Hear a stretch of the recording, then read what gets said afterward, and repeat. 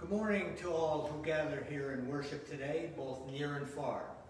Let's enjoy the love of the Father, Son, and Holy Spirit.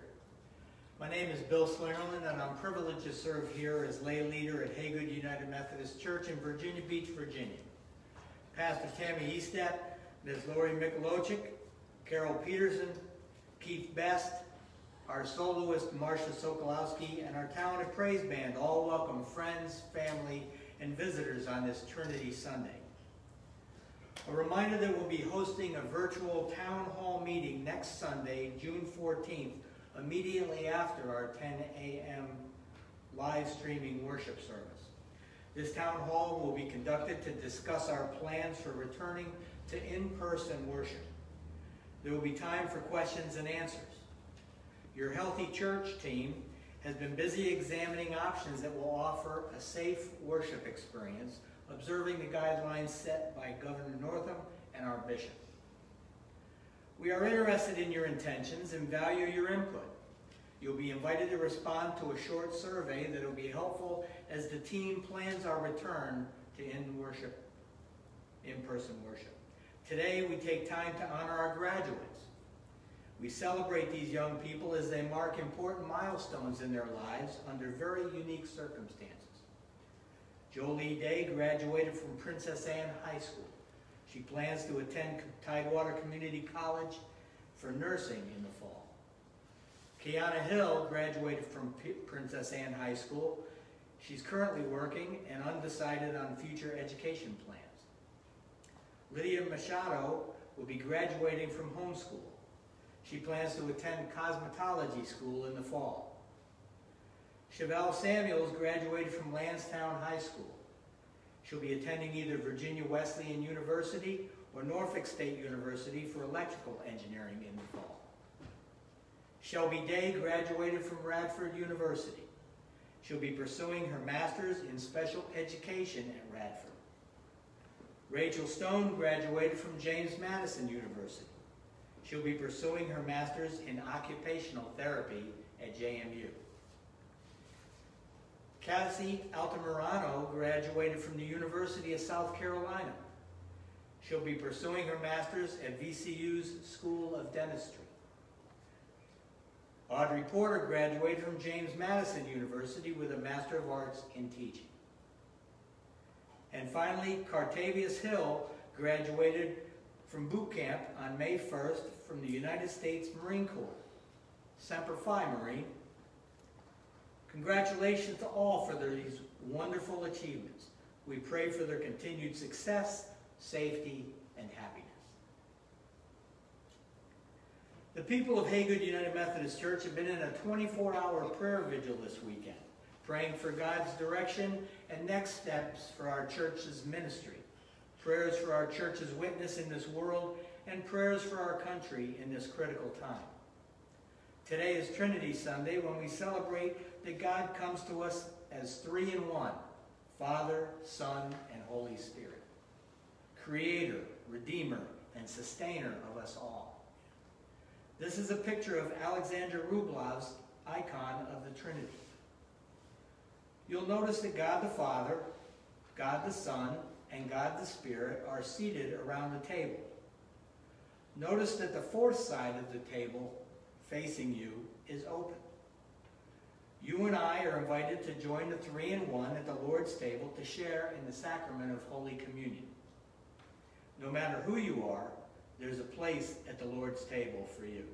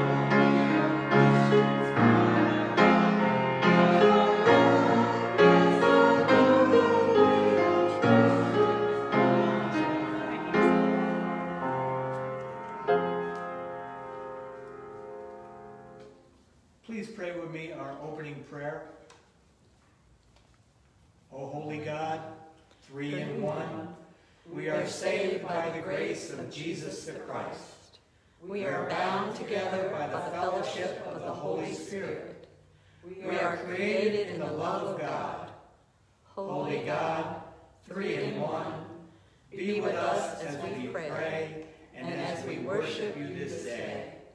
Amen. Ms. Lori is now going to share a message with children of all ages.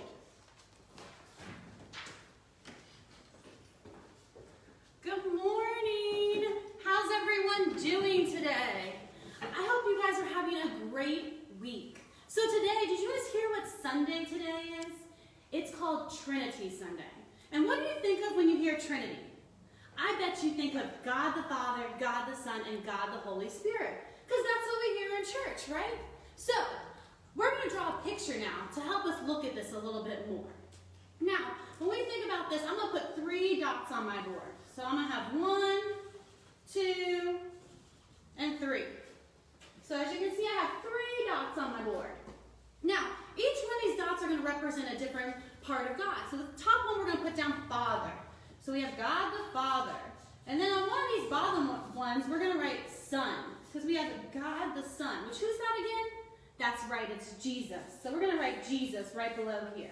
And then, on this last dot, we're going to write Holy Spirit because that's the last form of God. So we have him right here on the corner here. So, as you can see, we have our three things. Now, when people talk about the Trinity, a lot of times they'll use a triangle. So we're going to take our three points here, and we're going to make a triangle. Because just like God, even though it's three separate things, it's one all together. They're all God. So now we have our triangle. So as you can see, we have our triangle here. Now, what if I add an extra dot? What if I put this dot right in the middle of our triangle? Someone put a dot here. See this dot now? I got one right here. And you know who this dot is? This dot is going to be you. You, me, anybody. It's going to be you is what I'm going to write. Now, you're in this dot in the middle. And with this dot, we're being called into relationship with all of these forms of God. So, we're being called into relationship with God the Father, with God the Son, a relationship with Jesus, and with God the Holy Spirit. Now look at this. Look at what we did. We just made more triangles. So from you having a relationship with God as our Father, as the Son, as the Holy Spirit, we were able to make more triangles. And what if in those triangles we invite more people to church and they get more dots? And those people form a relationship with God the Father, God the Son, God the Holy Spirit, each one, God the Father, God the Son, and God the Holy Spirit. Look at how many more triangles we created. If we keep doing this and keep um, if we form a relationship with God and we bring other people into relationship with God, it will keep creating triangles. And we can keep growing and growing as Christians and showing more and more people the love of God. And it all starts with that one triangle of God. With God our Father, God our Son, and God the Son, and God the Holy Spirit. And when you come into relationship, look at all the possibilities there are. Look at all the people that you can show God's love to. That's pretty cool, right? So let's go ahead and turn to God in prayer now. So let's fold our hands and bow our heads, and all of you at home repeat after me. Dear God, Dear God, thank you so much thank you so much for being God the Father, for being God the Father, God the Son, God the Son, and God the Holy Spirit. and God the Holy Spirit. Help us Help us to form a strong relationship to form a strong relationship with you with you so we may so we may invite others invite others into relationships with you. into relationships with you. In Jesus' name we pray. In Jesus' name we pray. Amen. Amen. Thank you, Ms. Lori. Now, not because we have to, but because we are grateful, let us return to God what is ours to share. Let us joyfully offer our time, our treasure, our commitment, and our prayers.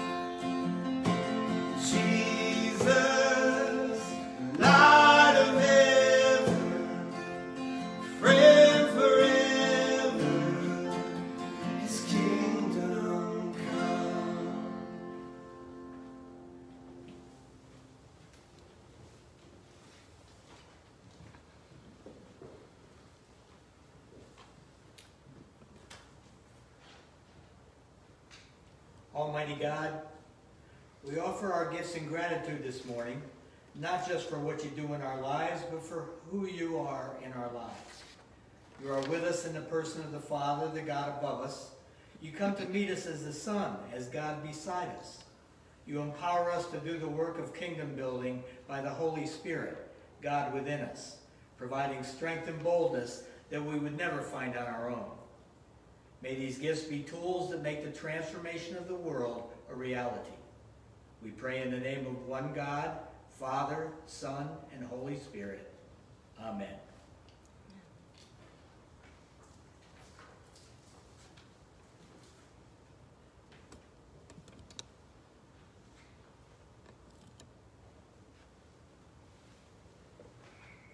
And that's about it, friends. Be cheerful. Keep things in good repair. Keep your spirits up. Think in harmony. Be agreeable.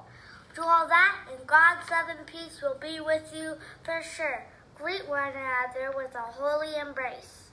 All you brothers and sisters here say hello.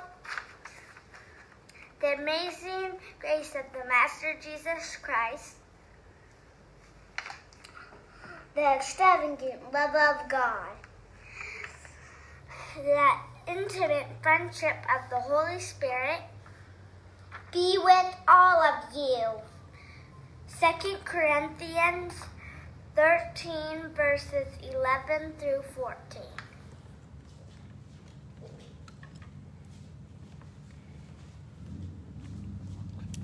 This is the word. This is the word of God for the people of God. Thanks, Thanks be to God. Let us pray.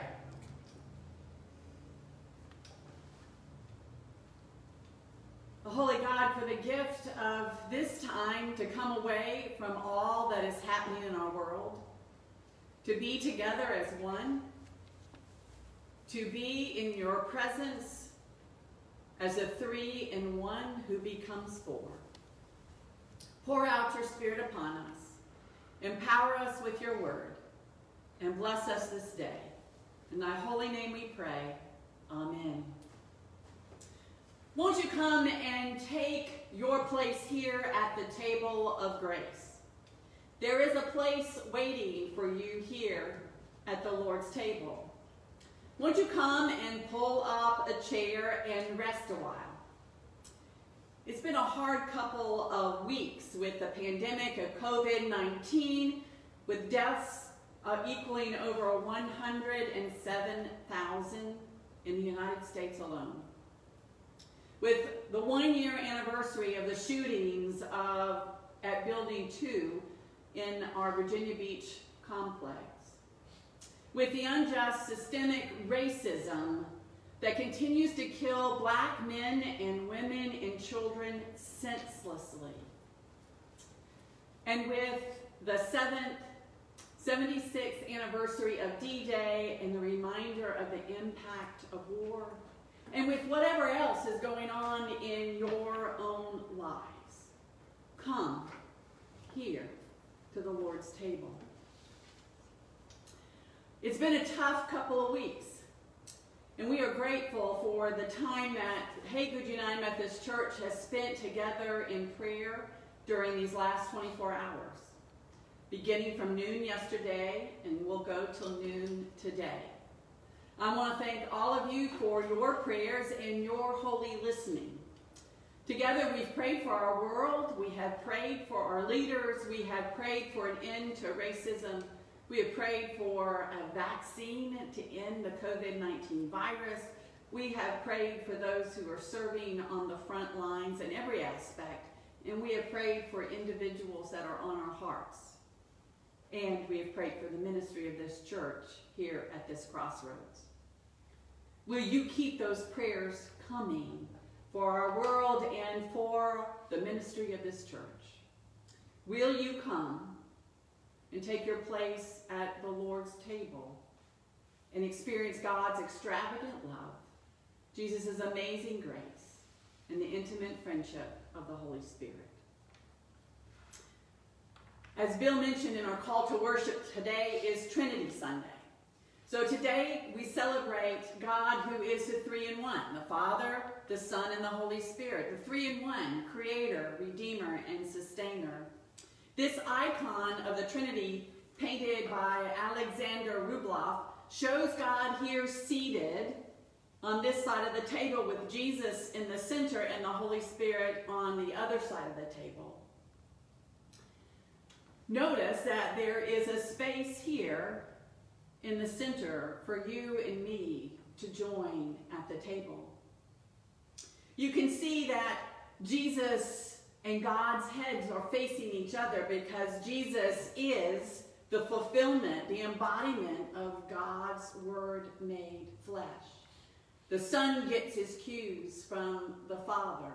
But notice how Jesus' body is turned toward the Holy Spirit because it is Jesus' death and his resurrection and his ascension that makes way for the Holy Spirit to move and act and invite you and me to the table. And when we join the table, we become the fourth. We become the fourth person at the table.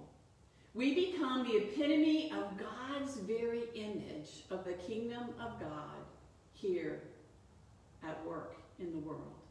So come and take your place at the table. The Spirit of God continues to invite us to come, to come and sit a while with God, and to be with Jesus and the Holy Spirit, to experience the three in one, that intimate and holy relationship with God and with each other. God the three in one, Father, Son, and Holy Spirit, creator, redeemer, and sustainer. This Trinity is not just a theological tenet or belief or description, but it is the reflection of the reign of God among us here on earth. The Trinity, the three in one, is a holy presence. It's a holy relationship that you and I are invited into. We are invited to commune with one another, with one another at the table with the Trinity and becoming the true communion of the Father, Son, Holy Spirit, and the church, the body of Christ alive in the world. The Holy Three in One becomes four when we love the Lord our God with all our heart, soul, mind, and strength, and when we love our neighbor as ourselves. This holy table of four is the embodiment of the kingdom of God here on earth as it is in heaven. And it calls us into a holy relationship with God and with each other. Today, God the Three in One invites us all to join in at the table in the holy relationship, to share in holy communion, to be a holy fellowship, to be the extravagant love of God in this world to be the amazing grace of Jesus Christ, to be the intimate friendship of the Holy Spirit with each other in the world. Here at this table, we ponder how we will live in a holy relationship with each other in the midst of our differences and our sameness. We wonder how we will live in a holy relationship with God and with each other and by seeking the well-being of everyone. We are called to this table of grace. How will we live in peace and in harmony with each other, with everyone in this world? Important questions to ask and for us to ponder on this Trinity Sunday. And with all that is happening in our world, how will we live in relationship with each other? knowing that we are called to be part of this holy communion, the fourth side of the table. This relationship of which God moves from God to Jesus to the Holy Spirit to us and us back to God again. Won't you come to the table of friendship? Won't you enter into the holy relationship with the Trinity and commune with each other so that the table is complete? so that three becomes four. Come to the table of peace and receive the holy blessing from God, the three in one. the amazing grace of Jesus the Christ, the extravagant love of God, and the intimate friendship of the Holy Spirit be with you all. Today's Communion Sunday. When we gather at the table of grace to receive the bread and the cup. Notice that in the middle of the table is a chalice. You don't find any bread there because the bread of life is seated at the table above the chalice. Today, because of the pandemic, we are not allowed to take communion. It's not safe for us to share the bread and the cup with one another. So today we're going to experience a spiritual communion. So I invite you to take your hands and cup them together as you would to receive the bread from the servers. And as you open your hands, open your hearts to receive whatever it is that God has for you this day. To receive the bread of life that comes to us in the three in one that becomes four. Sit in the silence at the Lord's table. Receive the gift that God has for you this day. Receive a blessing for nourishment, a blessing for the journey, and a gift of refreshment for the days to come. Let us pray.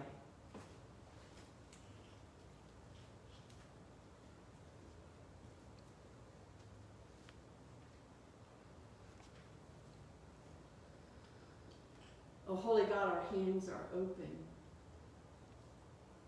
Our hearts are open to receive the gift of life that you give to us this day.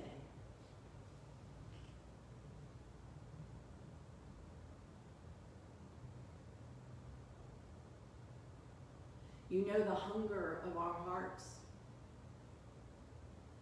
You know the tears that we have shed.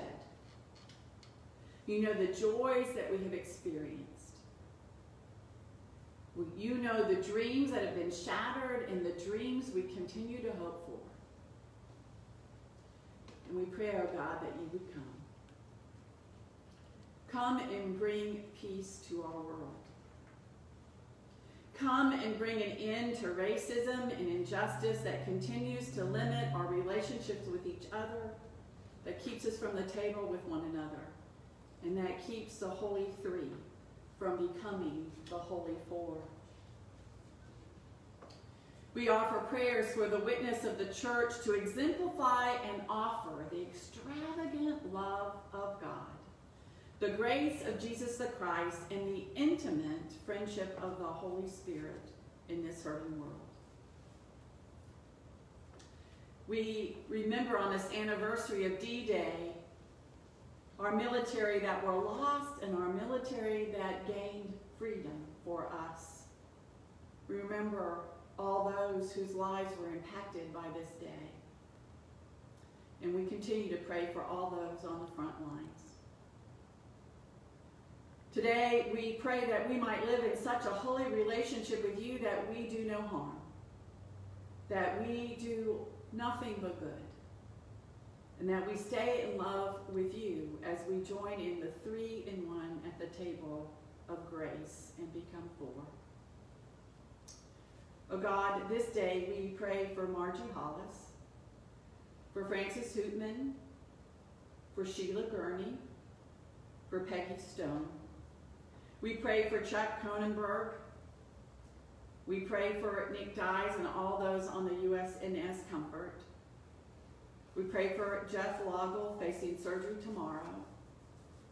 We pray for Agnes, Vicky Krim's mom, who's isolated in her room because of an outbreak of COVID-19 in her facility. We pray for an end to injustice. We pray for our graduates. We pray for Dolores' stepfather, Robert Schutz. We pray for those who don't have access to Facebook Live and miss worshiping with this community. And we welcome all those who join us. Oh God, we give thanks and rejoice in Lee Piasson's 90th birthday today. And we are grateful for his life and his witness among us and his own service to his country. And we pray, O God, for your church, for its witness in this world. May we be a reflection of the Holy Four, the Father, Son, and Holy Spirit in the church, the body of Christ alive in the world. And may we live in such holy relationships with one another that people come to experience the amazing grace of Jesus Christ, the extravagant love of God, and the intimate friendship of the Holy Spirit. We ask this in the name of Jesus the Christ, who taught us to pray together. Our Father, who art in heaven, hallowed be thy name. Thy kingdom come, thy will be done, on earth as it is in heaven. Give us this day our daily bread, and forgive us our trespasses, as we forgive those who trespass against us. And lead us not into temptation, but deliver us from evil. For thine is the kingdom, and the power, and the glory